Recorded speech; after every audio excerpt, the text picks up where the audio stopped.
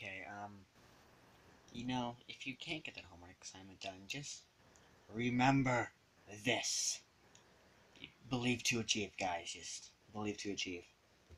You are going to see something amazing in a few seconds.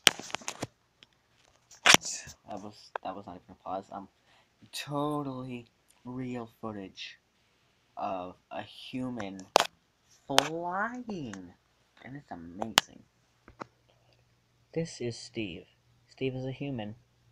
He can also fly. You ready, Steve?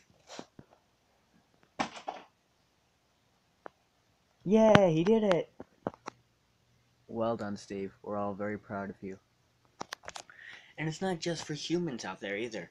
Trains have magical powers, whether you believe it or not. I mean, come on. This is Paxton. Paxton is an ordinary diesel engine. Or at least he looks ordinary. But in reality, he can do extraordinary things. For example, carry coal trucks. Not that that was a fail. Paxton, you need to carry these coal trucks better. God damn it, Paxton. Okay, I shortened the load a little bit for Paxton. So I'll show you what he can do. He can carry trucks around bends. He can carry coal trucks up hills. Kind of.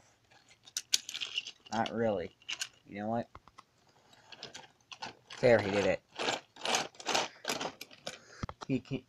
Paxton can even crash.